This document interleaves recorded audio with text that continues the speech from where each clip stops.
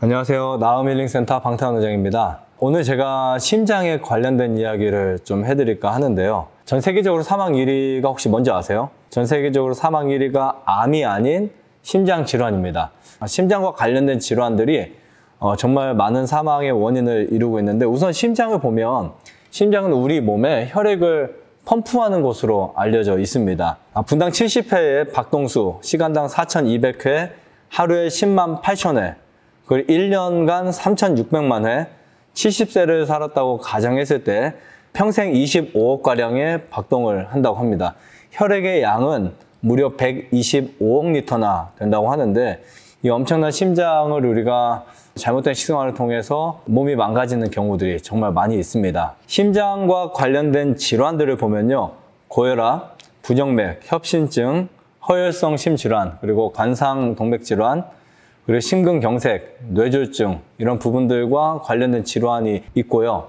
하나같이 모두 다 위험 인자를 가지고 있습니다. 근데 어, 어떻게 보면 아쉬운 것 중에 하나가 뭐 다른 병도 마찬가지겠지만 이 심장 질환만큼은 우리가 피할 수 있지 않을까 예방할 수 있지 않을까라는 생각을 강하게 하게 되었는데요. 전 세계 사망 1위라고 하는 이 심장 질환 갑자기 길을 가다가 일을 하다가 공부를 하다가 음식을 먹다가 갑자기 쓰러져서 어, 사망할 수도 있거든요. 그래서 이 심장 질환을 우리가 조금 더 예방할 수 있다면 얼마나 좋을까 이런 생각을 하게 됩니다. 이 심장병의 근본 원인들을 살펴보면요 뭐 유전적인 요인도 있겠지만 뭐 다른 질병들과의 연계가 있습니다. 그래서 심장 질환이 우리에게 심각하게 오기 직전에 이미 고혈압이라든지 당뇨라든지 이런 질환이나 대사 문제에 먼저 있었던 것을 알 수 있습니다. 그리고 후천성으로는 일반적으로 운동 부족, 스트레스, 흡연, 또 이제 잘못된 음식, 자극적인 식사, 설탕 과다 섭취,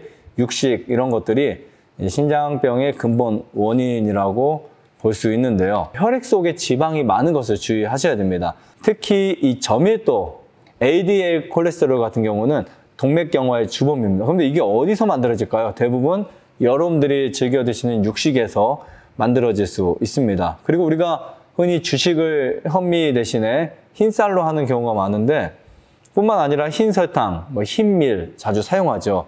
여기에서 이제 triglyceride 이런 물질들이 만들어져서 혈액의 질을 좋지 않게 만듭니다. 그러면 이 혈관을 통해서 혈액이 지나갈 때 혈액 속에 있는 지방이 이렇게 혈관에 굳어지거나 혹은 상처가 있을 때 그곳에 이렇게 쌓이게 됩니다. 그러면 혈액의 압력이 올라갈 뿐만 아니라 심장이라는 그 기관 안에서는 어, 여러 가지 과부하나 여러 가지 문제점들이 발생할 수도 있습니다.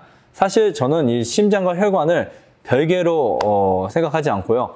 심장 관리를 위해서 반드시 알아야 될 것 중에 하나가 혈관을 이제 관리해야 한다고 저는 보고 있습니다. 그래서 혈관을 반드시 어, 건강하게 만들어야 한다 이렇게 주장하고 있고요. 아무튼 이 심장을 관리할 수 있다는 거 꼭 기억하셨으면 좋겠고 심장 질환들은 모두 다 대부분 유전적인 것보다 예방할 수 있다는 것을 꼭 알고 계셨으면 좋겠습니다. 우리가 어, 이 식사나 라이프 스타일이 잘못되면서 현대인들에게 이 심장 질환의 문제가 점점 더 많아지고 있습니다. 특별히 84기에는 사망 1위를 만들고 있는 이 심장 질환에 대해서 조금 더 주의 깊게 제가 강의할 계획이 있습니다. 누구나 다 갖고 있고 누구나 관리를 꼭 해야 하는 이 심장에 대해서 특별히 제가 강의를 해서 저희 강의를 듣는 모든 분들이 한 분도 빠짐없이 이 안타깝게 심장으로 인한 질병과 돌연사나 여러 가지 어, 안타까운 일들이 일어나지 않는 마음으로